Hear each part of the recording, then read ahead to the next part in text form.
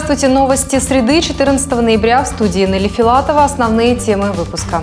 В региональный день приема граждан Каталашане обращались за помощью.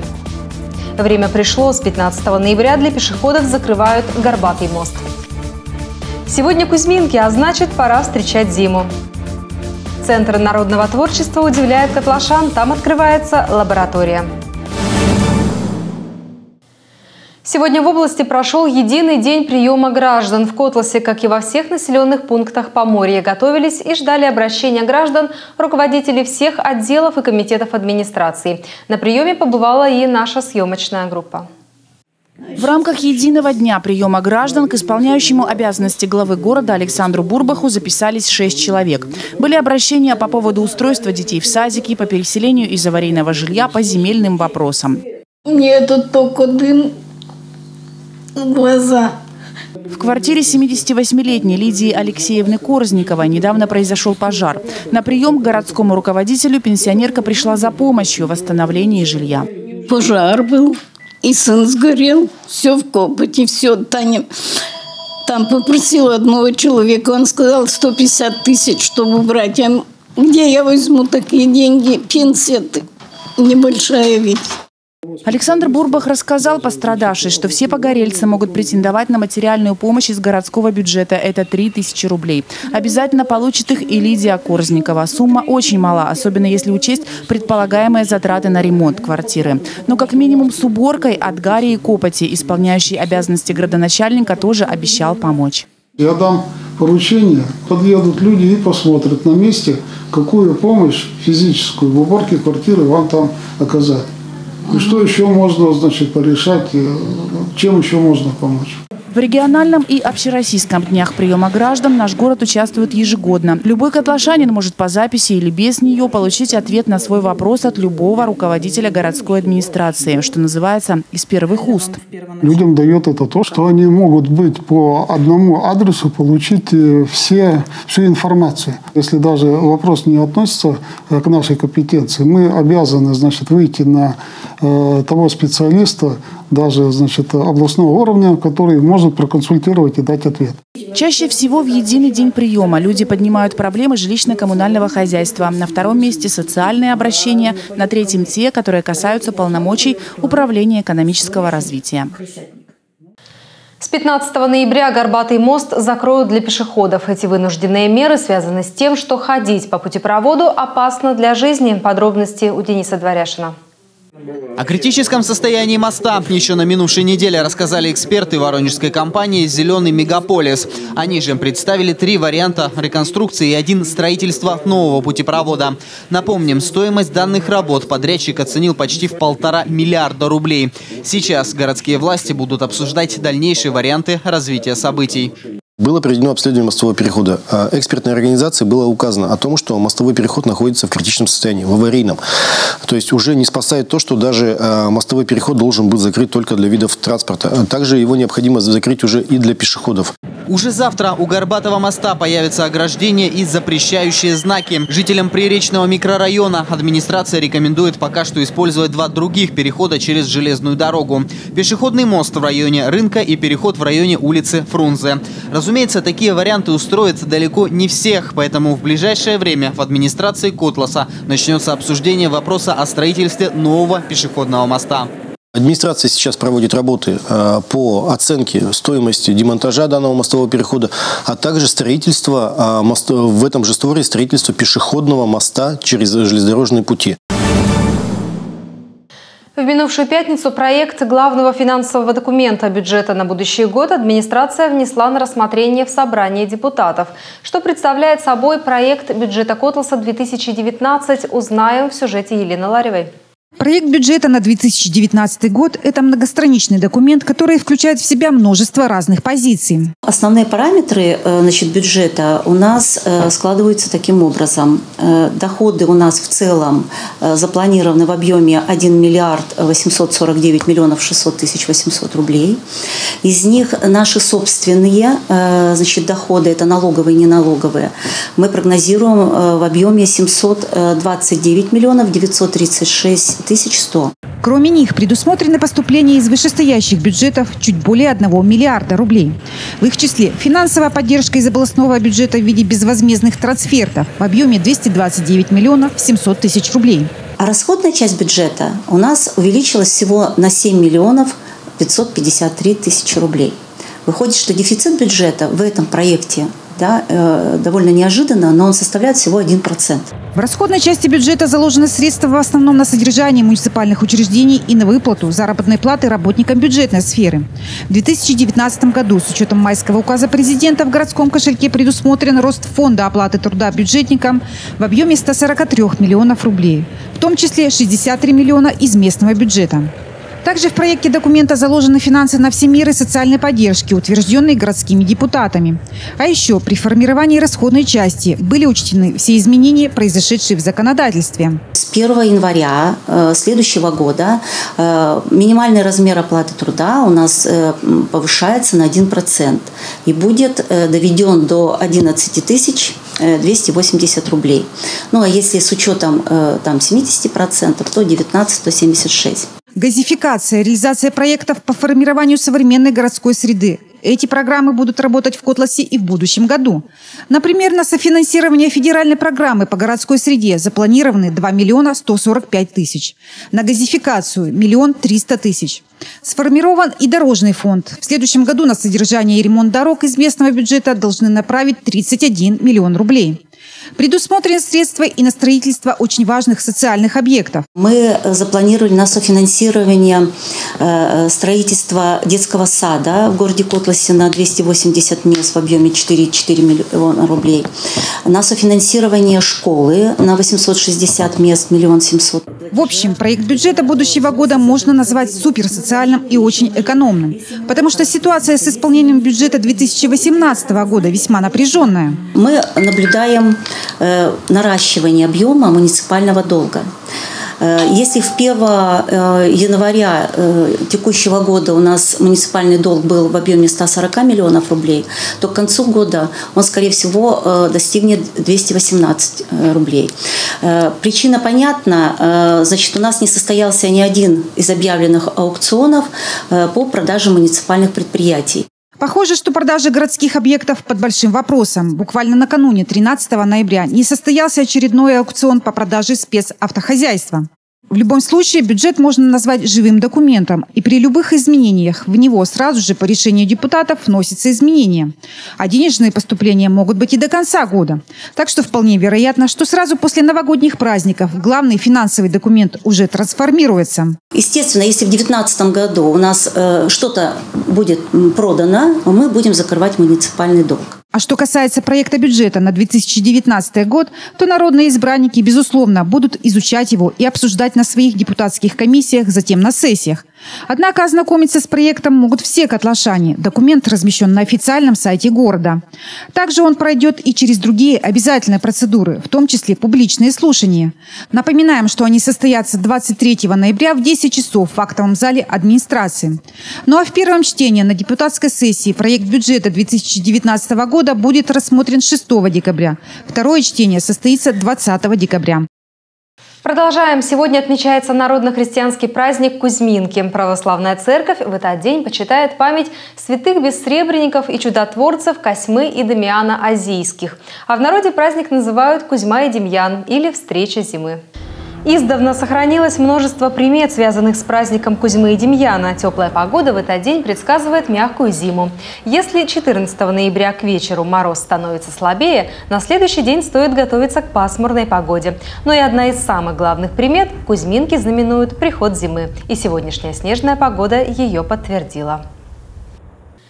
Впрочем, несмотря на то, что календарная зима пока еще не наступила, в городской администрации уже подготовлено постановление, согласно которому Комитет по образованию рекомендует отмену занятий в актированные дни. Согласно 83-му федеральному закону, который вступил в силу с 1 января 2012 года, специалисты администрации в связи с пониженной температурой воздуха могут только рекомендовать школам отменить уроки. Итак, если в 6 часов утра на термометре 25 градусов мороза, рекомендуется отмена уроков для учащихся с 1 по 4 класс. При минус 27 по 6 класс. При температуре минус 30 градусов и ниже рекомендуемая отмена для обучающихся первых-восьмых классов и при температуре воздуха минус 33 градуса и ниже. Рекомендуемая отмена занятий для обучающихся первых 11 классов. Напоминаю, что решение об отмене принимается руководителем образовательных учреждений. Что касается информации по рекомендуемой отмене занятий, то она, как обычно, будет доводиться до населения, начиная с 7 утра, через официальный сайт и группу ВКонтакте администрации города, а также через радиостанцию «Европа плюс Котлас» и Авторадио. К другим темам жительница улицы Джамбула-2 Зинаида Дудина рассказывает о нашествии нахлебников. Ее квартиру атаковали нахальные грызуны. Что только не делала котлашанка, чтобы избавиться от крысиного соседства, но толку пока нет. На месте действия побывала наша съемочная группа. Девочки вот эти пришли, они говорят, вот такая крыса. Ее собака или кошка кто-то придушила. Неравный бой с крысами Зинаида Дудина ведет уже несколько месяцев. В каждом углу ее квартиры отрава, но грызунов она не берет. Крысы выели дыры в полу, не брезгуют монтажной пеной, доедают второй кусок хозяйственного мыла. Вот тут был кусок э, мыла. Крысы съели его до основания. Второй кусок положила ванночке. Угу. И вот, посмотрите, крысы съели мыло. Зинаида Дудина только летом переехала на Джамбула-2. С непривычки скребущиеся по углам крысы ее шокируют, потому жить и особенно ночевать женщина пока предпочитает на даче. А вот для старожилов дома соседство с грызунами – дело обычное. По их словам, крысы в деревяшке прописались давным-давно. Людмила Верховцева спокойно говорит о том, что в ее квартире грызуны предпочитают жить в детской комнате и показывает огромные заплаты на стенах. Именно здесь были крысиные ходы. Они бегают просто. Ну, я их не вижу, они бегают, но кошки-то ловят. Кошки ловили. Приносили ну, вот. кошки к вам? Да, да. Прям такие мертвые лежат. Утром слышишь, мертвая крыса лежит. В управляющей компании «Энергия» о проблеме на Джамбула-2 знают. По словам главного инженера, крысы живут не только по данному адресу, но и во многих лименских деревяшках. А потому дератизация – одно из обязательных направлений в работе управляшки. У нас эта проблема как бы постоянная. Почему? Потому что у нас очень большой деревянный фонд, где у нас существует неканализированный фонд, где есть у нас помойницы. Поэтому, особенно в осенний период и в весенний период, очень много грызунов. У нас заключен договор с фирмой ООО «ДДД» на дератизацию. И дератизация проводится 4 раза в год. На Джамбула-2 дератизацию проводили пять дней назад, 9 ноября. То, что Зинаида Дудина все еще слышит шорохи в разных уголках своей квартиры, это нормально, говорит Виталий Поворознюк. Обычно после процедуры крысы исчезают в течение нескольких недель.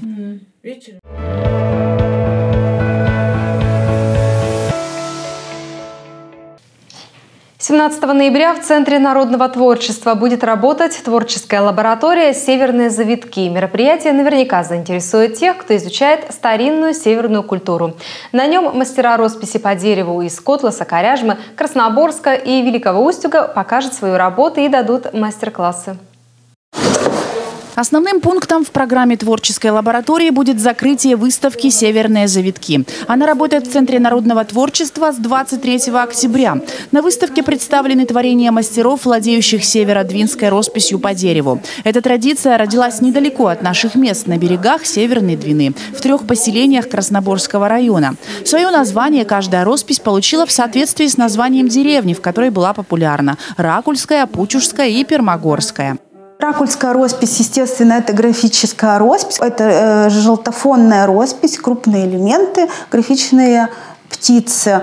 Э, например, в Пермогорье здесь мы видим уже Другие элементы да, росписи – это птица сирен встречается очень часто. А пучушская роспись у нас подобна э, пермогорью, но уже э, прослеживается больше кудреватость и сюжетные сценки встречаются. Представлены на выставке деревянные изделия, расписанные и в других северных стилях. Есть здесь и раритетные экспонаты из фондов Красноборского музея. Лучше остальных сохранились прялки с ракульской росписью XIX века сохранилась в основном на прялках, потому что этот атрибут всегда в доме имел очень важное значение. Да, прялка, как мы знаем, э, делалась девочке, когда она только рождалась, папа ей изготавливал прялочку, и она на протяжении всей жизни несла ее с собой и бережно относилась к ней и хранила. Еще множество интересных историй, связанных с росписью по дереву, традиционной для наших мест, зрители узнают, посетив творческую лабораторию в Центре народного творчества. Она начнет работу в субботу, 17 ноября в 10 утра. В программе, помимо закрытия выставки «Северные завитки», будут круглые столы, мастер-классы от ремесленников из Котласа и района, Коряжмы, Красноборска и Великого Устюга. И, конечно, чайная пауза. Вход на мероприятие бесплатный.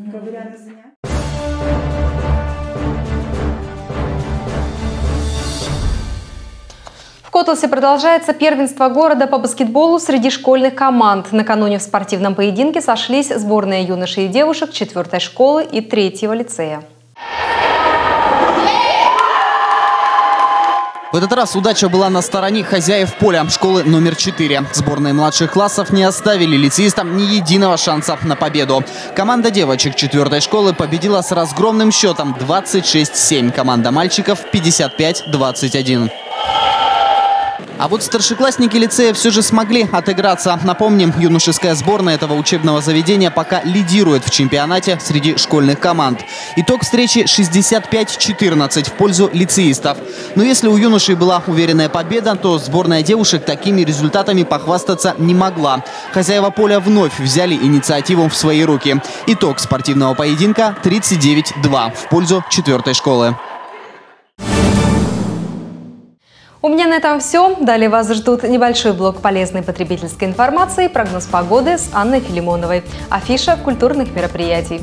Смотрите наши новости на телеканале Котлас ТВ, в прямой трансляции на YouTube и в группе Котлас ТВ ВКонтакте. Хорошей вам недели. До встречи.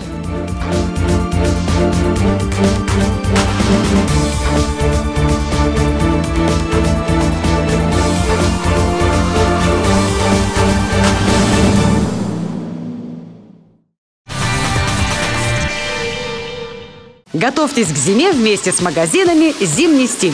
Более 50 моделей пальто из кожи и баллони, дубленок с отделкой из натурального меха. Более 100 моделей обуви из натуральной кожи и меховых головных уборов кировских производителей. Котлас – торговый центр «Адмирал», второй этаж. Коряжма – торговый центр «Виконда», второй этаж. «Зимний стиль». Качество по доступной цене. Готовимся к Новому году вместе с гастрономом Семеновский. Тем более есть отличный повод – выгодные цены.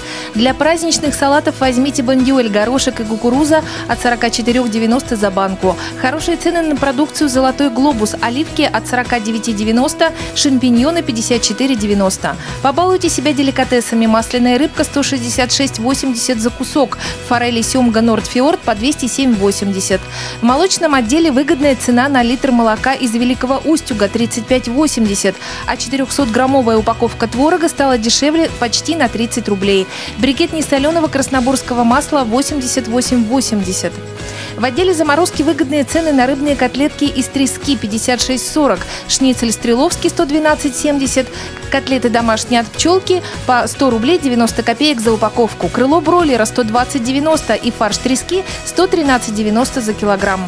Пельмени сыто грета по 72,80, мясо картофельное 39,90. Старая традиция от пчелки по 104,80 за пачку. В отделе колбас тоже акции. Бородинская и Северодвинска по 275,90 или ветчина Дмитровская 206,90. Молочная от Агромясопром по 339,90. Той же марки Охотничья по 408,70. Докторская от Славницы по 158,20. Русская от Стрелы по 366,90. Заказная того же производителя 111,60 за 500 грамм. Стародворская из Владимира 270,30. Сосиски мини-любительские по 267,90 за килограмм. Выгодно покупать кофе «Жардин» растворимый 108,80 молотый от 154,80 за упаковку. Чай «Тест» 4 вкуса. Покупка обойдется меньше 50 рублей. В Семеновском новое поступление бельевого трикотажа для всей семьи. Отличным подарком может стать набор сладостей. Есть и чай в оригинальных упаковках в виде чайника или банки. Ну и какой же Новый год без елки, украшений и свечей? В Семеновском уже все в продаже. Гастроном Семеновский – центр выгодных покупок. Выставка продажи меда из Воронежа, Краснодара и Адыгеи более 18 сортов, а также продукция пчеловодства, перга, пыльца, прополис, маточное молочко, мед в сотах. Приходите в Котловский дворец культуры 16 и 17 ноября с 10 до 18 часов, Вычегодский ДК 19 ноября с 10 до 16 часов, Лименский ДК 20 ноября с 10 до 17 часов. Акциями и скидками приятно удивим. Спешите, теперь и у вас в городе. Норка от 60, мутон от 10, нутри от 20 тысяч рублей. Ждем вас 16 ноября в ДК поселка Вычегодский, 17 и 18 ноября в КДЦ города Коряжма.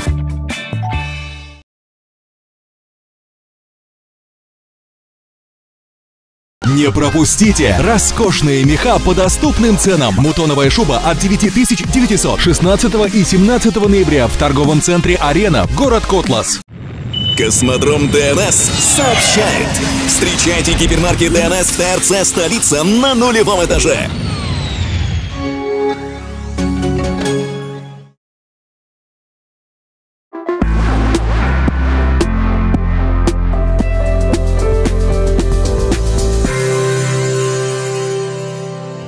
Здравствуйте, с вами я, Анна Филимонова, и расскажу о погоде на четверг, 15 ноября. В четверг, 15 ноября, ожидается пасмурная погода, небольшой снег. Температура воздуха днем до минус 3 градусов. Ветер юго-западный 3 метра в секунду, атмосферное давление чуть выше нормы. А у меня на этом все. Отличного вам настроения. Увидимся на телеканале Котлас ТВ. Лименскому Дому культуры исполняется 55 лет. Приглашаем друзей 18 ноября в 14 часов на концерт «Юбилейный круиз». В маршруте поздравления гостей, выступления старейших коллективов, духовой оркестр, хор русской песни «Россияночка», клуб «В нашу гавань заходили корабли». Также своими яркими и зрелищными выступлениями вас порадуют Нина Тетерина, Татьяна Демичева, Владимир Угрюмов, Алексей Ковков, Алексей Беляев, Галина Сырникова, Сергей Ильин, Марина Старцева, Зинаида Левина, Леонид Виноградов, Анастасия Яковлева, Иван Олешков, шоу группа «Лолита» и другие. 17 ноября в 15.00 Котлашана гостей города Котловский дворец культуры приглашает на юбилейный концерт образцового коллектива индийского танца «Сарасвати», которому в этом году исполняется 25 лет. Билеты уже в продаже. Телефоны для справок 5 25 15 и 2 54 46. Елена Воробей, Оскар Кучера, Дмитрий Орлов, Ирина Климова и Джемал Тетруашвили в комедии «Мужчина с доставкой на дом» 20 ноября в Драматическом театре. Комитет по управлению имуществом 23 ноября 2018 года проводит аукцион на заключение договора аренды по следующим объектам.